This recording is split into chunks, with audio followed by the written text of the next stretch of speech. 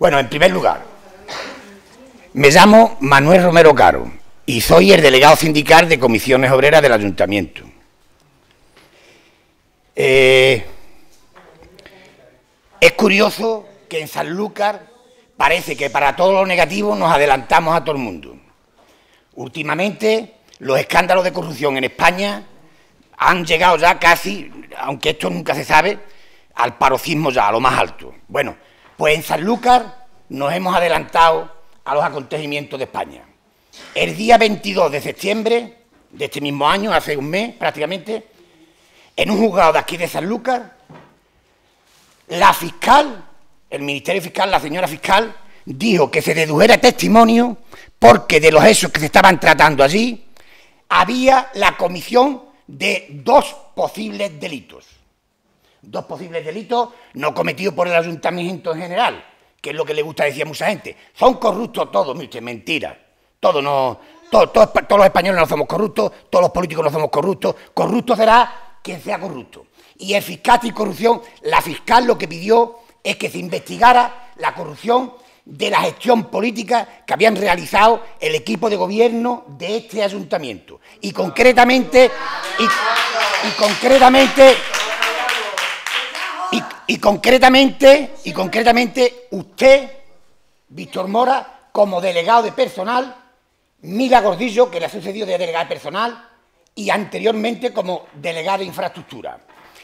¿Sabéis los motivos ciudadanos sanluqueños los motivos por los que la fiscal pide que se investigue la corrupción de este ayuntamiento? Los motivos, los motivos son dos en principio.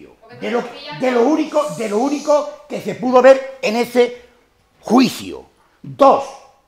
Primero, por haber nombrado sin convocatoria pública, de forma totalmente ilegal, a un amigote, a un amigote, a José Manuel Oliva Zumariba, que lo han nombrado maestro de obra, siendo mecánico, y lo han nombrado por toda la cara, por un decreto firmado por Vila Gordillo, y por haberle estado pagando, por haberle estado pagando, por haberle estado pagando sin justificación de asistir al trabajo. Porque en los partes de trabajo de este señor, en los partes de trabajo de este señor, ponía, mientras que de todos los oficiales, ponía fulanito de tal arreglando un base, fulanito de tal arreglando tal cosa, en los partes de trabajo del señor Oliva ponía José Manuel Oliva Zumaría, Zumariba, no se sabe. José, Manuel, José Manuel Oliva ¿quién sabe dónde? Y por último ya, por último, por último ya los compañeros decían, le ponían, José Manuel Oliva Zumariba, esto en un parte de trabajo, ¿eh? En un parte de trabajo, ¿eh? Del que era responsable el delegado de personal, don Víctor Mora y de la que ha delegada de personal, doña Milagrosa Gordillo. Por último, ponían los compañeros. Vuelve, vuelve a casa por Navidad. La han estado pagando, la han estado pagando, la han estado, la han estado pagando, la han estado pagando, sin que esté justificado, sin que esté justificado su asistencia.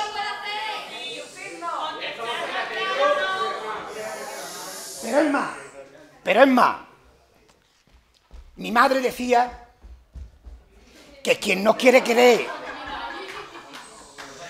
que quien no quiere creer en buena madre, al final tiene que creer en mala madrastra. Fíjate usted, señor Víctor Mora, lo que son las cosas.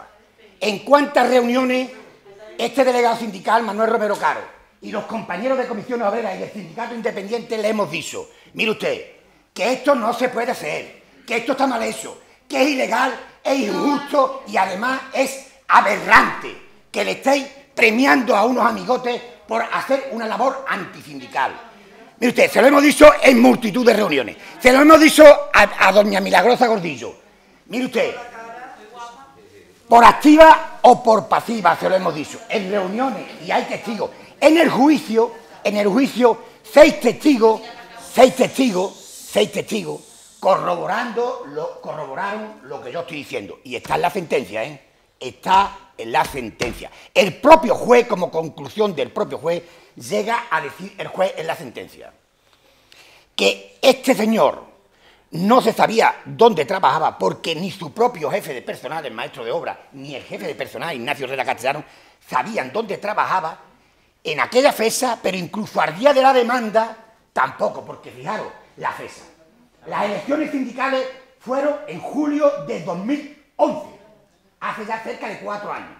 Bueno, pues este señor en ese momento dejó de estar liberado sindical, entonces ya tenía que incorporarse a su trabajo. Y no se incorporó, no se incorporó.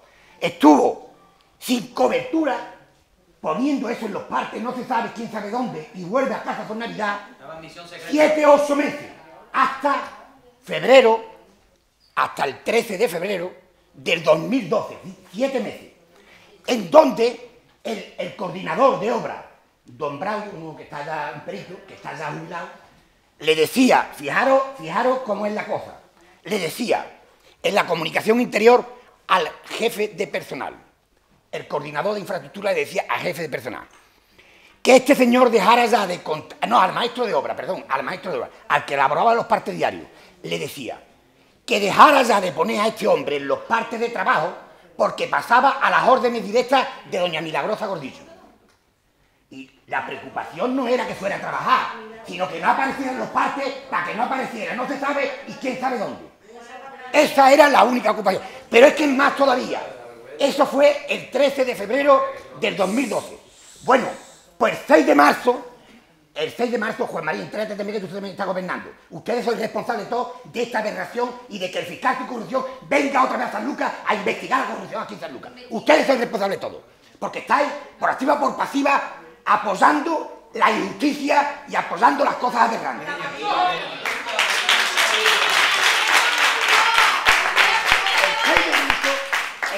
El 6 de marzo, el 6 de marzo, no contento no contento con esa primera comunicación interior, no contento con esa primera comunicación interior, cuya única preocupación es que no aparecieran los partes de trabajo de este hombre, para que no se vieran, no se sabe, Milagrosa Gordillo hizo otra comunicación interior, el 6 de marzo del 2012, a los ocho meses. Y en la comunicación interior volvía a repetir que estaba bajo sus órdenes directas, realizando todas sus funciones y que no aparecieran los partes. ¿Dónde? Realizando funciones. ¿Dónde? El juez le preguntó, el juez, ya no los abogados, ¿eh? El juez, el señor juez, su señoría, le preguntó a uno de los testigos, a Sara Bustamante le preguntó al último testigo. Y le dijo, mire usted, yo estoy harto aquí ya hoy en el juicio de excusar, no se sabe, quién sabe dónde, vuelva a casa por Navidad. Este, San Lucas no es Nueva York. Este hombre, ¿dónde estaba? Y dice Sara, si usted me pregunta a mí mi opinión, en mi calidad de policía, patrullando por el pueblo, este señor un día estaba por la calle solo, otro día acompañado, otro día entrando a su casa, como si estuviera de vacaciones. Y estos son conocedores todos los miembros del equipo gobierno. Porque mire usted, va cormo, y por eso digo que quien no cree en buena madre, cree en mala madrastra. En abril, 10 de abril del 2013, en una rueda de prensa que hizo como portavoz de la sección sindical de comisiones obreras, decía lo siguiente, fijaros, ¿eh? casi dos años, ¿eh? Hemos tenido toda la paciencia del mundo, casi dos años. El título, Comisiones Obreras critica las prácticas escandalosas en el Ayuntamiento de San Lucas en el ámbito laboral.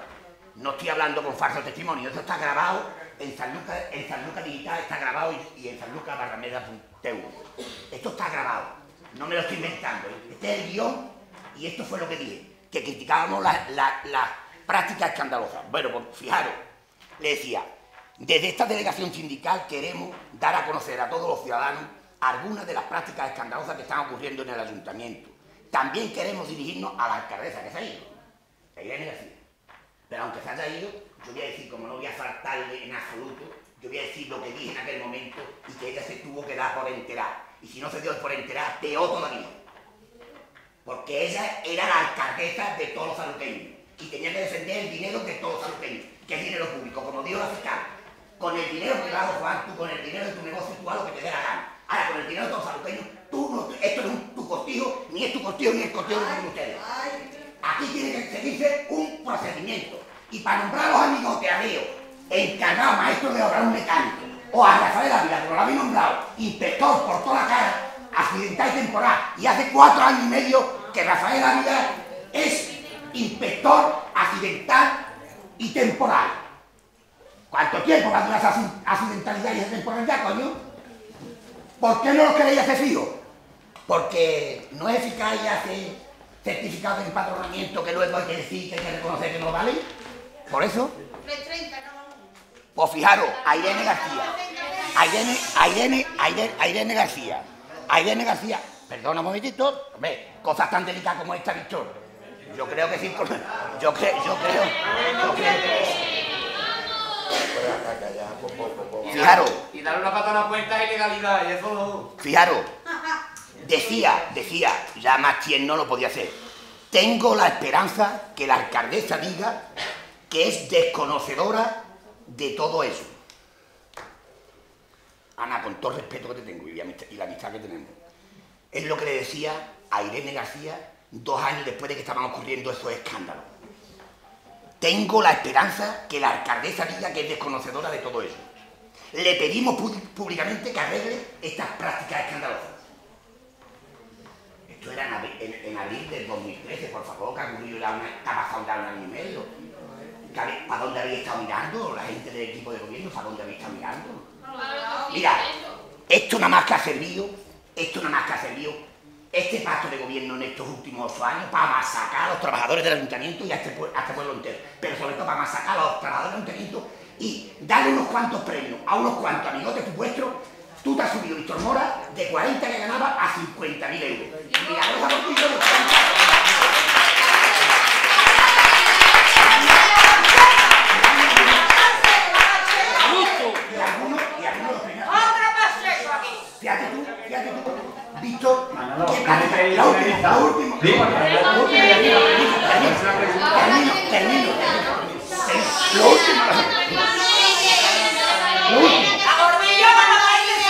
último, lo último, lo último, lo último, lo último a terminar. Lo último a terminar. Aunque sí te pediría, Víctor, que la transparencia no es algo erótico, no es sino que es en política es las penas claras. Yo, yo te digo, te pido, y además te lo pido por favor, y voy a terminar con el último ejemplo que yo te, yo te pido un debate, te solicito, humildemente te solicito, un debate público entre tú y yo como delegado de la Comisión Obrera, que hablemos con esto, con los papeles por delante, el tiempo que haga falta.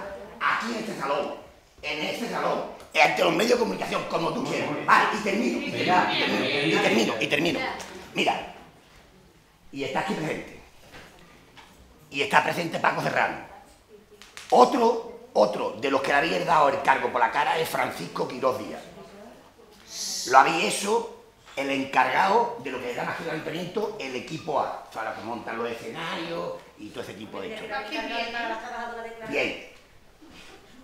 Para hacerlo encargado, le dice Lola Dumier, que es la presidenta de la Junta de Personal del Ayuntamiento y miembro, y miembro, y miembro de la Ejecutiva del FROE y le dice Lola Dumier, eso es lo que nos ha dicho y está de testigo ahí Francisco Herrero Vázquez, que es el presidente del comité del PEN.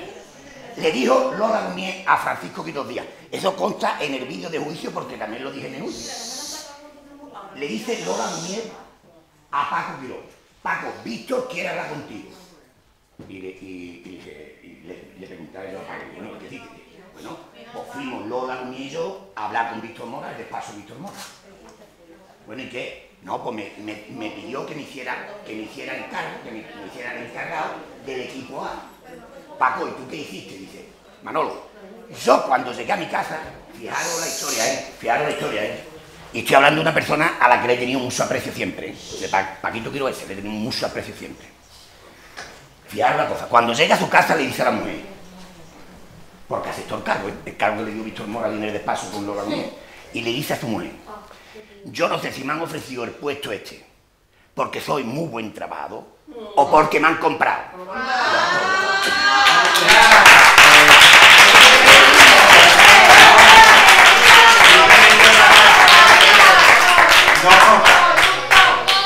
ha dicho usted una cosa que, además, como lo están grabando, verá, usted ha dicho que el juez ha dicho que yo, Víctor Mora, eso ha dicho el juez. ¿Cómo, cómo, cómo, cómo? Usted ha dicho que el juez ha dicho que va a investigar por corrupción. A mí ha dicho... No, no, no, no. Hombre, porque quería... Como él ha dicho usted eso, y me gustaría que eso lo aclarara porque no es verdad. ¿Quiere que lo aclare? ¿Quiere que lo aclare? ¿Quiere que lo aclare? No, no, ya no ha dicho eso.